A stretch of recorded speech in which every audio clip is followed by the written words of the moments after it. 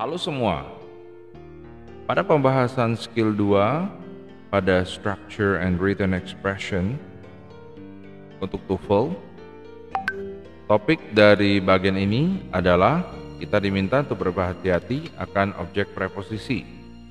Nah, sebuah objek preposisi adalah berupa kata benda, kata ganti, gerund, yaitu kata kerja ditambah ing menjadi kata benda, atau non-clause yang terdapat setelah sebuah preposisi seperti in, at, of, to, by, behind, on, dan sebagainya untuk membentuk sebuah frasa preposisi. Yaitu namanya frasa berarti dia kumpulan kalimat lebih dari satu kata tapi bukan merupakan subjek dan predikat. Misalnya after his exam. Nah ini adalah frasa preposisi namanya. Tapi After itu adalah preposisi, his exam adalah objek preposisi. Nah, yang merupakan subjek adalah Tomnya. Setelah ujiannya, Tom akan mengadakan perjalanan dengan kapal. Nah, by boat itu juga objek preposisi. Jadi pada kalimat ini berisikan dua subjek preposisi. Exam adalah objek preposisi dari after dan boat adalah objek preposisi dari by. Sebuah objek preposisi dapat menyebabkan kebingungan dalam pertanyaan-pertanyaan secara struktur pada tes TOEFL dikarenakan hal tersebut dapat secara keliru untuk dianggap sebagai subjek dari kalimatnya. Nah, pada contoh dari paper and computer test TOEFL ya, dengan temannya, berarti temannya di sini adalah objek preposisi. Nah, yang di sini otomatis menjadi subjek. Nah, kita dapat melihat bahwa jawabannya adalah di sini adalah B. Mengapa adalah B? Karena yang dibutuhkan adalah subjek. Nah, has adalah predikat tidak menjadi subjek. Later adalah kata keterangan, nantinya. When adalah kata sambung. Jadi otomatis jawabannya adalah B. Dalam contoh ini, Anda seharusnya melihat pertama pertama-tama atau Anda pertama-tama mencari subjek dan kata kerjanya. Anda seharusnya memperhatikan kata kerja found dan juga harusnya memperhatikan bahwa tidak ada subjeknya. Kita lihat di sini tidak ada subjek. Jangan berpikiran bahwa friend adalah subjeknya. Friend adalah objek preposisi dari with. Ya, dan satu kata benda tidak bisa memiliki satu subjek atau dua subjek secara bersamaan atau pada waktu yang sama dikarenakan subjek dibutuhkan dalam kalimat ini. Jawaban B yaitu he adalah jawaban terbaik. Jawaban A, B, C, D tidak benar karena mereka tidak dapat menjadi subjek. Nah, pada bagan berikut menggarisbawahkan informasi yang penting yang kamu seharusnya ingat mengenai objek preposisi. Ya. Nah, objek preposisi. Sebuah preposisi itu diikuti oleh kata benda, kata ganti gerund yaitu kata kerja tambah ing jadi kata benda ya maupun non-clause yang disebut juga sebagai objek preposisi. Jika sebuah kata adalah sebuah objek preposisi, ya bukanlah subjek. Nah, kita dapat melihat pada bagian ini yaitu catatannya sebuah daftar yang panjang akan preposisi dan latihan dalam mengenali preposisi dapat ditemukan dalam appendix D pada bagian belakang dari teks. Anda mungkin ingin melengkapi latihan ini sebelum melanjutkan pada latihan 2. Baik, kita dapat melihat pada bagian latihan 2, masing-masing dari kalimat berikut ini berisikan satu atau lebih frasa preposisi.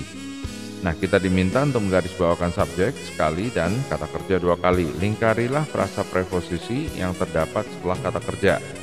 Lalu tunjukkan apakah kalimat-kalimat itu adalah benar atau tidak benar.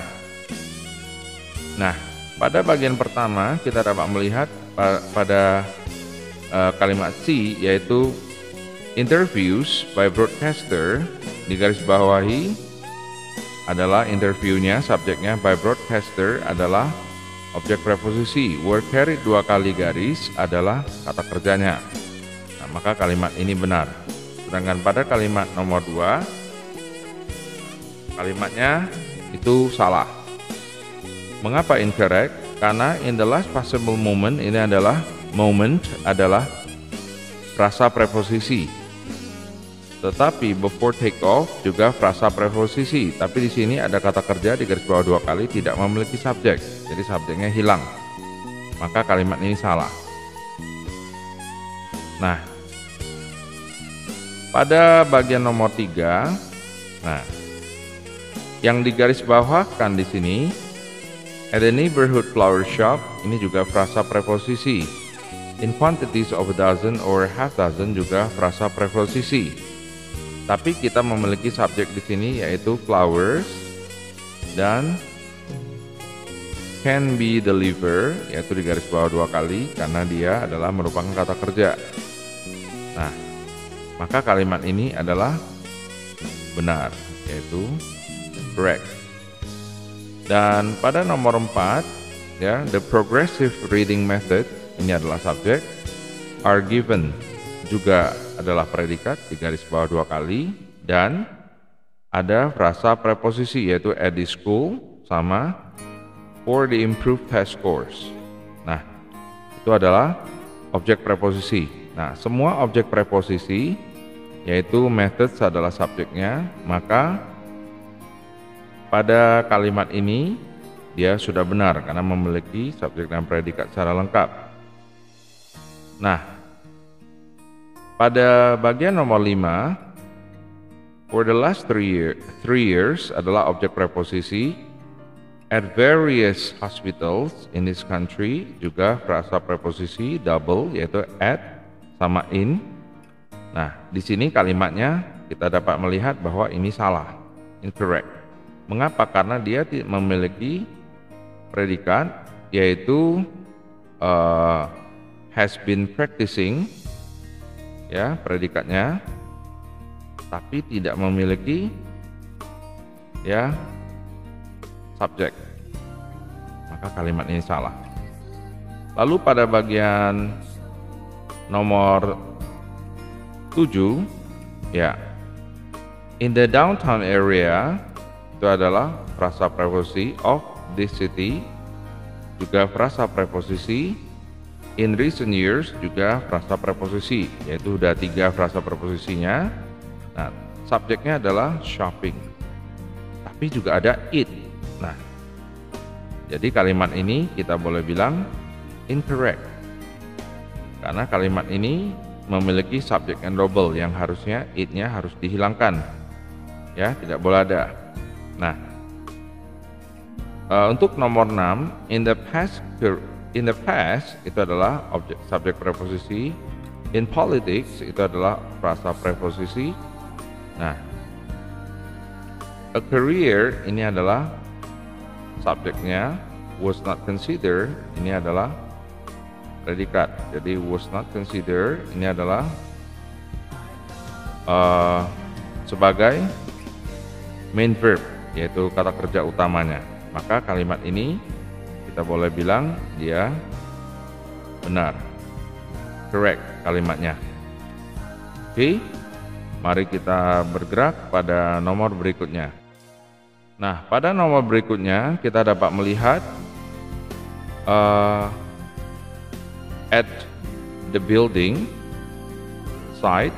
Building site itu adalah uh, non phrase ya. Lalu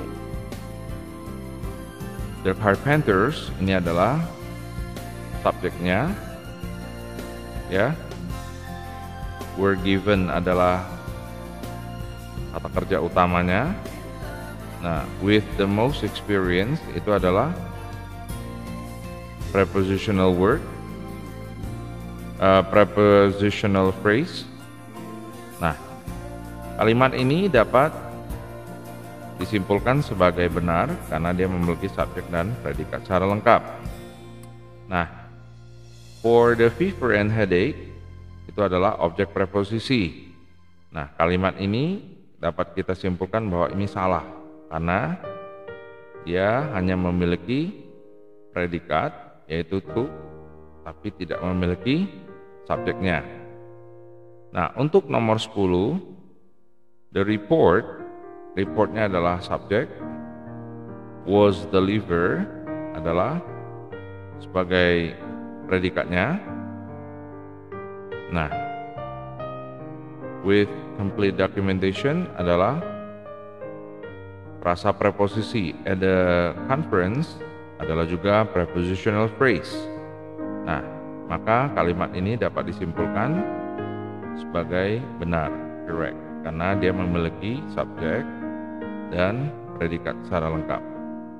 Ya, demikian pembahasan kita untuk uh, skill 2. Ya, semoga semua pembahasannya membantu.